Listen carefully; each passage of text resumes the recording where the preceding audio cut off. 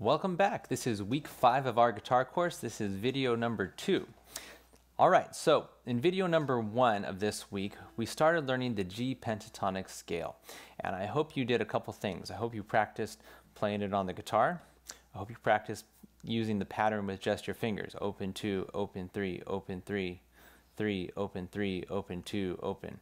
And you're a little bit better at that than you were yesterday. We're going to go on now and we're going to try that a few times together because part of playing a pattern, especially in music, is we have to be able to play it in time. So we're going to start off with that pattern and we're going to start with the G scale, G pentatonic scale. By the way, have you figured out why it's a pentatonic scale? It's because there's five different notes, right? Except for the G, those are the same note. You have the A, G, A, B, D, E. That's G, A, B, D, E. It's five different notes. So here we go. Make sure you have a good hand position, thumb in the right place, straight wrist. Your fingers are ready to be curved at the first knuckle. Start with the open G. Let's do it in tempo here. A whole note for each, each note. One, two, ready, go. G, two, three, four. A, two, three, four. B, two, three, four. D, two, three, four. E, two, three, four. And up to G, two, three. Now back to E. E, two, three. Now D, two, three, four. Two, three, four. A, two, three, four. Two, three, four. Good. Think you could do it a little faster? Try to keep up. One, two, three, go. G, two, three, four. A, two, three, four. Open, two, three, four. Three, three, four. One, two, three, four. One, two, three, four. One, two, three,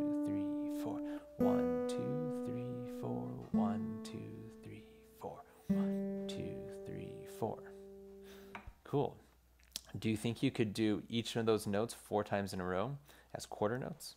So we'd go one, two, three, four, one, two, three, four. Let's give it a try. I'll go a little, start a little slower. One, two, ready, go. One, two, three, four. One, two, three, four. One,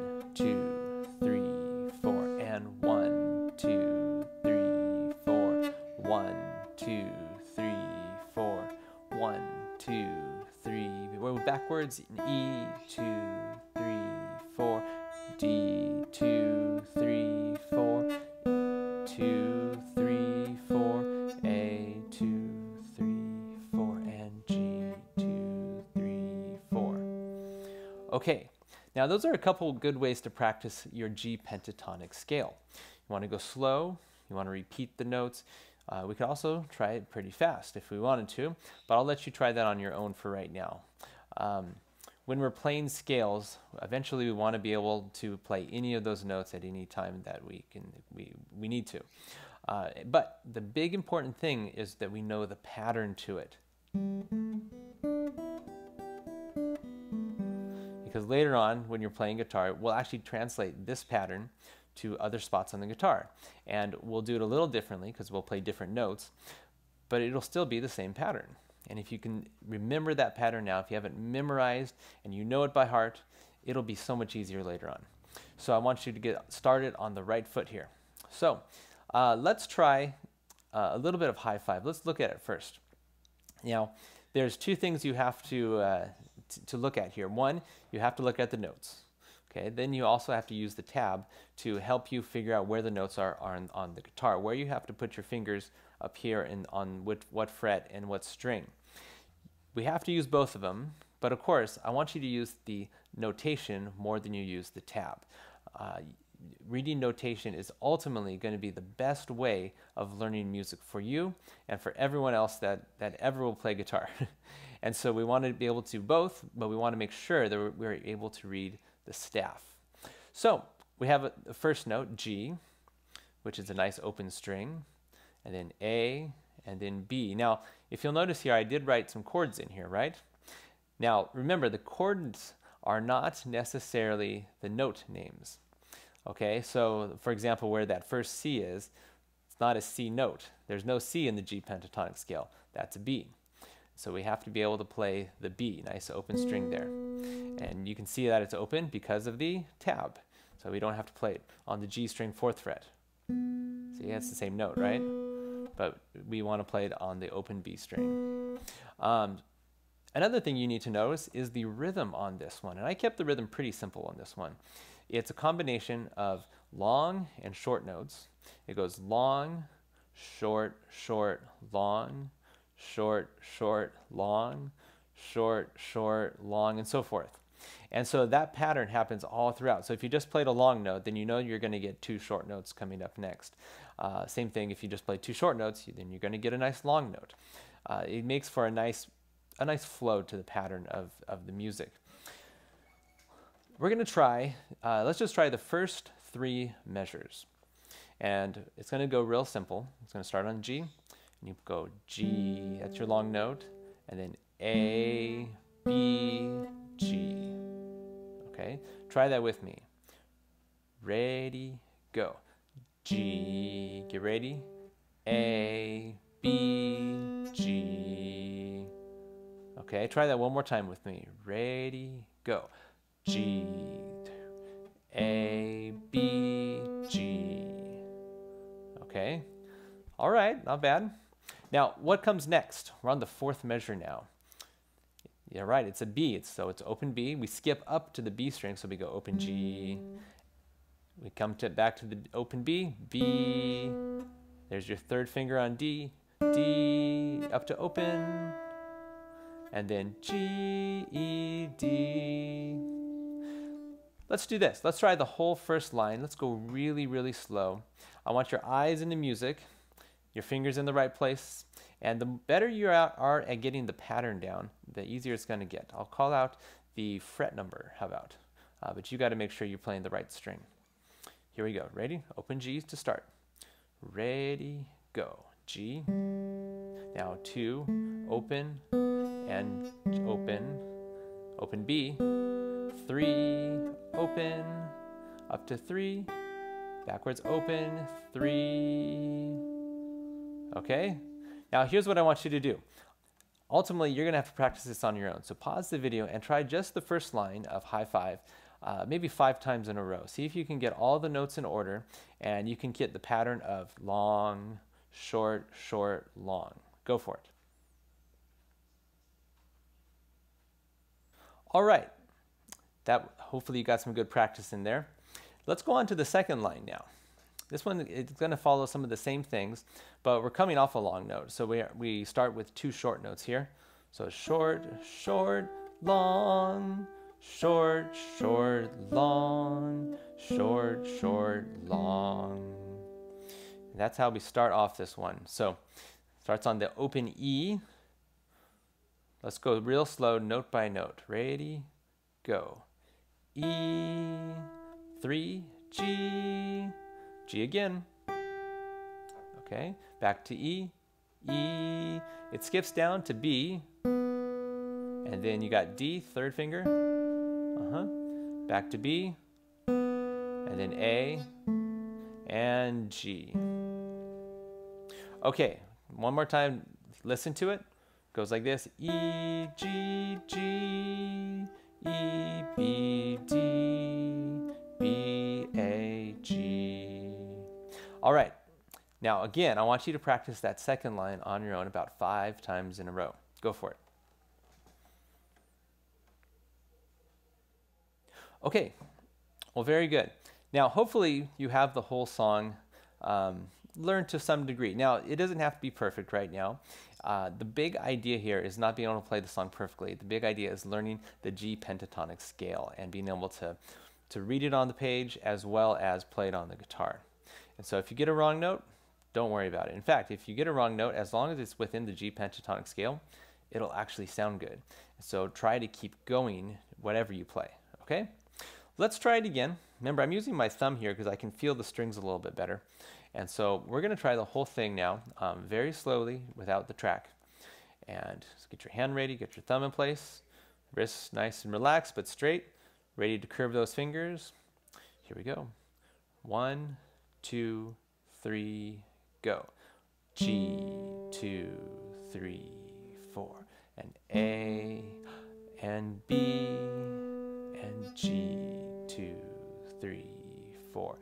B, D, and E, three, four. Up to G, E, D,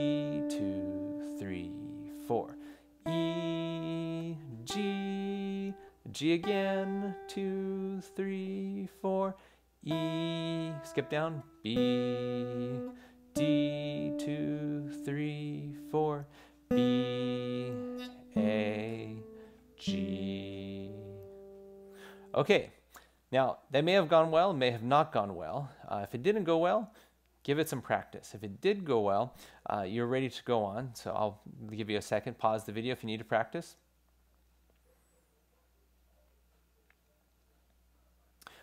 All right. Now, you've practiced it and you're doing the best you can at it, and that's good for right now. So we're going to try it with the track. And I have two versions of the track. I have the slow version, I have the fast version. We're going to try the slow version first because slow practice is good practice. So here we go.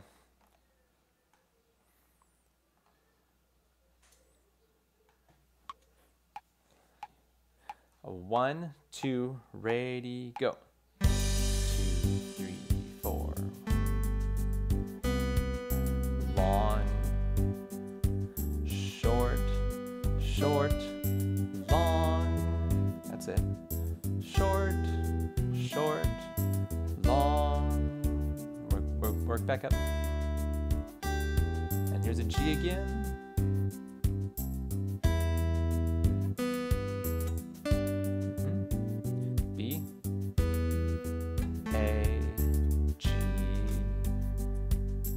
Okay, that was the first time through. Now remember that we have the repeat sign at, the end of this one, so we have to go back and do it again. Now this time, I'm going to leave it up to you. Okay, I might strum some chords on this one or something as, as the track's playing, but I want you to make up your own melody using the notes of the G pentatonic scale. If right now all you can do is go up and down the scale, do it, okay? See if you, however, if you can do the long, short, short, long pattern uh, to, to your own melody here. And, and it can be very similar to the one that I wrote for you. It can be completely different. You can make up whatever you want using the G pentatonic scale and using short or long, short, short, long. Let's continue. One, two, three, go.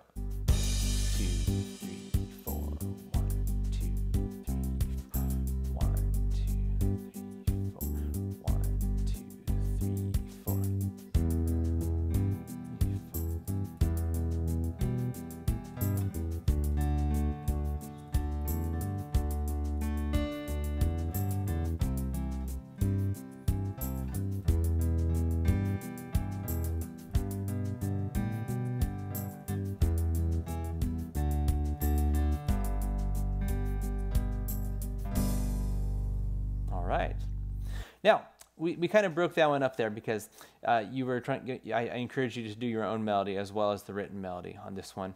And I want to try it one more time. And this time I want you to do it again. Make up another melody the second time through. See if you can play it right the first time through with what's written, and then make up your own melody. Did you stick with the G pentatonic scale?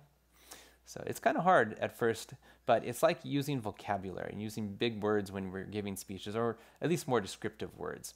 Uh, and this is something that we can do to use music creatively. We can be our own musician. We can be our own composer in this in this case, and we can have lots of fun with it. Let's try that again.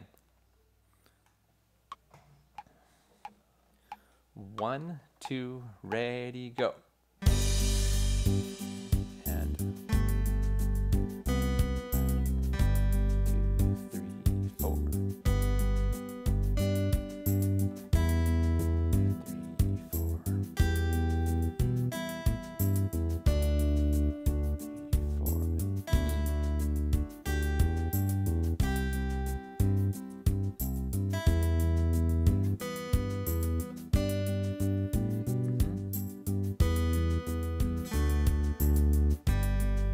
Okay, here's your turn for the solo.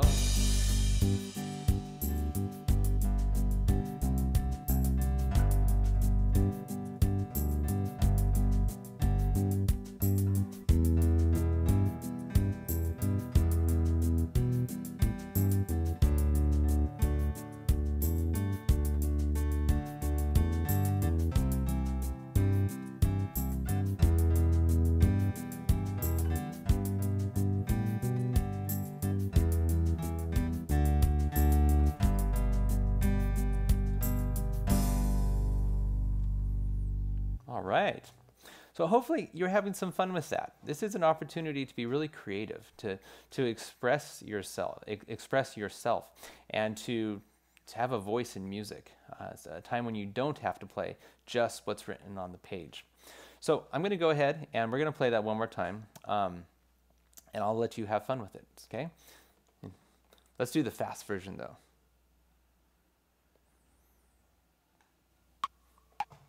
Here we go. One, two, ready, go.